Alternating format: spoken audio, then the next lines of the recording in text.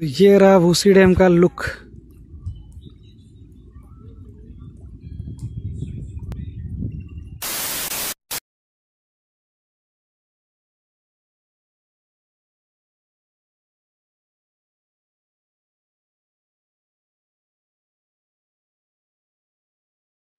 ये रूट है भूसी डैम के लिए।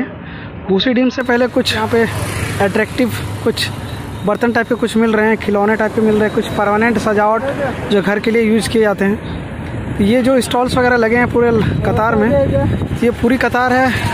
घर की सजावटी, जैसे कि मग, गिलास प्लेट या फिर कुछ गुलदस्ता वगैरह जिसमें रख सकते हो, वो चीज़ यहाँ पे मिलता है। तो काफ़ी कुछ सुंदर है यहाँ पे। अगर इतना बड़ा ये क्या है? अच्छा डिज़ाइन है। क्या है पता नहीं। कप टाइप का है। और आगे देखे तो इस टाइप का और भी कुछ है भाई।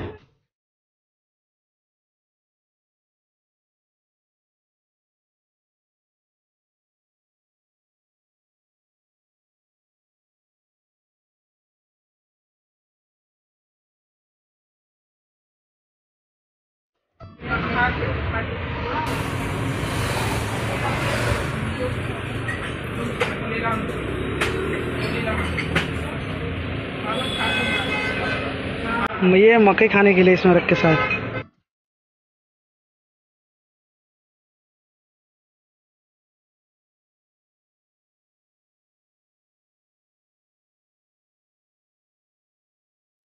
बंद है क्या? क्या बात कर रहे वही रास्ता सही था जो इधर दिखा रहा था। ओ माय गॉड तो ये बंद पड़ा है यार। ये गेट ही नहीं खुला तो जाएँगे कैसे? तो हमने खुफिया रास्ता निकाला देखा है। तो इस खुफिया रास्ते की तरफ़ जाएँगे और देखते हैं कहाँ तक ये रास्ता जा रहा है.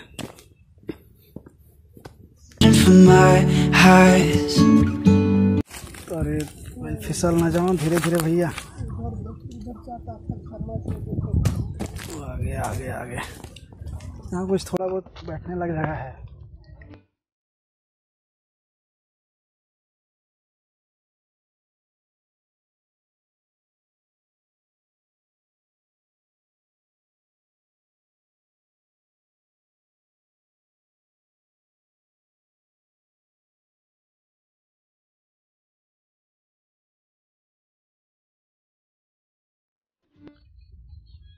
तो गाइज़ ये रहा भूसी डैम का वाटर और ठीक आप सीधे देखते हो तो पूरा ये भूसी डैम का व्यू यहाँ से क्रिएटिव लगता है, आप देख सकते हो। क्या गजब का लुक लग रहा है यहाँ से।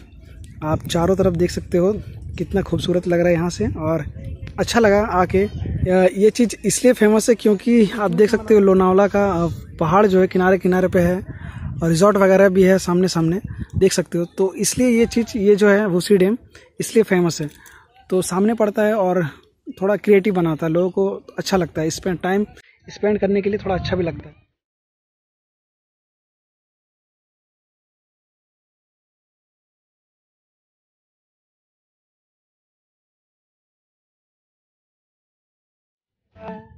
हेलो गाइस मैं हूँ संजय कुमार और आप देख रहे हैं आपका अपना यूट्यूब चैनल संजय लाइव तो तो फ़िलहाल आप देखो कहाँ मैं माउंट कर रहा हूँ अपना फ़ोन को।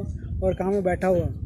वाइड एंगल वैसे मैंने लाया नहीं है तो इस वजह से क्या है कि पूरा कवर नहीं हो पा रहा। तो मैंने मोबाइल को भी पूरा नीचे कर दिया ताकि मेरा पूरा फ़ोटो पूरा कवर हो सके पीछे का व्यू और मेरा पूरा चेहरा और ओवर एंड ऑल तो गाइस यहाँ की बात करूँ भूसी डैम की बात करूँ तो यार, भूसी डैम में ठीक ठाक है। अगर रेटिंग की रेटिंग अगर देनी रही मुझे तो फाइव में से मैं थ्री दूँगा। थ्री इसलिए दूँगा क्योंकि बगल में जो पहाड़ है इस वजह से। और सीज़न की अगर बात करूँ तो यार रेनी सीज़न में इधर आओ ना तो मज़ा आ जाएगा। और ये इसका वाटर का जो लेवल है ना इसका वो भी बढ़ जाता है और काफ़ी खूबसूरत नज़ारा यहाँ से देखने को अ, मिल सकता है। तो फ़िलहाल तो रेनी सीज़न में आया नहीं हूँ मैं तो उस हिसाब से रेटिंग मैंने थ्री दिया फिर भी काफ़ी दिया है। काफ़ी अच्छा लुक यहाँ क्रिकेट हो रहा है। बहुत सारे लोग सेल्फी पॉइंट बना के रखे हैं। आप कह सकते हो कि बहुत सारे फैमिली भी आ सकते हैं और अपना इंजॉय कर सकते हैं। यानी कि वीकेंड बिताने के लिए ठीक ठाक है। एक दो घंटा आराम से इजीली यहाँ पे बिताने लायक जगह है कि हाँ भाई लोग आ रहे हैं फैमिली के साथ घुल मिल सकते हैं अच्छा- अच्छा सा मोमेंट क्रिएट हो सकता है उनके साथ। और आना तो आने तो जा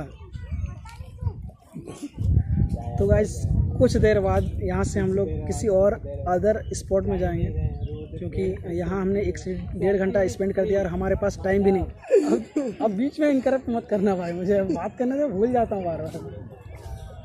तो कुछ अच्छा लगा और व्यू कुछ अच्छा है यहाँ से।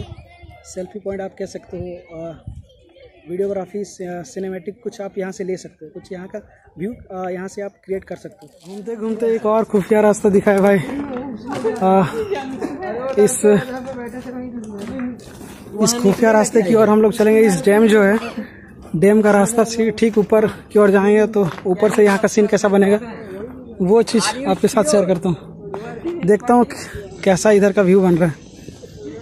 तो ये पूरा इधर झपड़ी टाइप का कुछ बना हुआ था डैम के ठीक पीछे ही है। ये रहा डैम का पीछे का पोर्शन जो आप देख रहे हो, ये डैम का पीछे का पोर्शन है। और ये आगे के देख सकते हो कैसे हमें स्ट्रगल करके जाना है। हमने गलत रास्ता पकड़ लिया कि नहीं, नीचे कर जा सकते हैं। तो डैम का ही पानी है। हल्का हल्का फ्लो हो रहा है। आराम आराम से उतरना भाई। अभी पानी ही नहीं आता इतना पत्थर देख लो कितना कैसा है। ये जो रास्ता आप देख रहे हो पूरा उसी का है मतलब उसी डैम का इंटर करने का मैंने कहा आई थिंक यही होगा। इंजॉय ज़्यादा करने के लिए यही डैम हो सकता है ये जो पहले आप देख रहे हो ये सीढ़ियाँ जो बनी हुई है यहाँ पे लोग बैठ के आनंद ले सकते हैं। कुछ देर पहले मैं ठीक उस पार था जूम करके आपको दिखा देता हूँ उस पार था। जहाँ दो चार लोग आपको दिख रहे हैं। उसके बाद मैं आ गया हूँ ठीक लेफ़्ट साइड। तो लेफ़्ट साइड का नज़ारा इधर से, इसका सीन कुछ इस तरह क्रिएट हो रहा है भाई। इस तरह क्रिएट हो रहा है। बहुत सारे लोग इधर से दिख रहे हैं मेरे को। खैर, उतना भी नहीं है, लेकिन इधर से राइट साइड के सॉरी लेफ़्ट साइड से नज़ारा कुछ इस तरह है। ये पानी पानी है, चारों तरफ़ आप देख सकते हो। चारों तरफ़ ने बीच में क्या है कि पेड़ पौधे लगे हुए हैं थोड़ा। वाटर का लेवल नीचे है। वाटर का लेवल अगर इससे ऊपर हो जाता है तो आप जो पीछे पीछे की जो सीढ़ियाँ देखी आपने तो वहाँ क्या होता है, झरना टाइप का वहाँ पे बन जाता है। तो उधर से पानी क्या है कि झरने टाइप से बहती है उधर से। तो उस टाइम वो कब आता है, जब यहाँ से वाटर का लेवल जो है, बढ़ जाता है। फ़िलहाल मैं आया हूँ अभी, और ठंडी के सीज़न में, ठंडी के सीज़न में अभी तो बरसात नहीं है। जब बरसात आ जाएँगे तो यहाँ से लुक कुछ और ही रहेगा।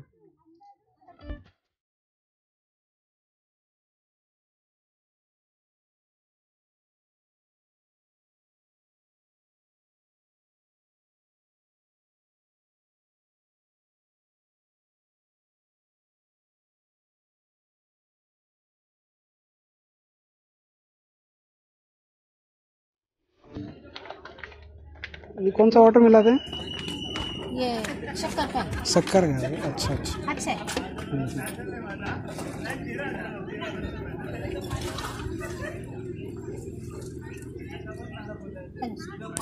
हो। गया ओके। स्वीट कम रखते हैं। अच्छा अच्छा अच्छा। ज़्यादा ले लगेगा तो बोल। ठीक है।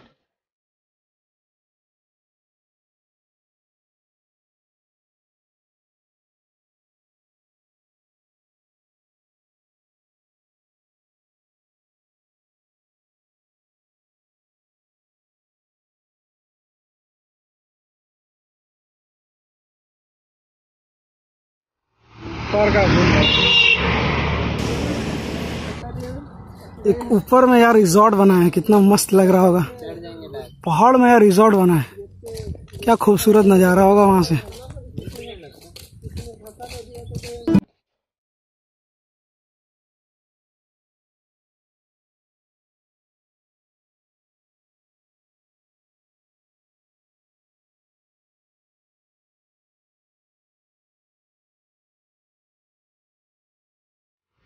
अगर यार एक बार मौका मिल जाता ना जाने का वहाँ पे। जाने का अलाउ नहीं कर रहे यार ये लोग नौसेना वाले लोग।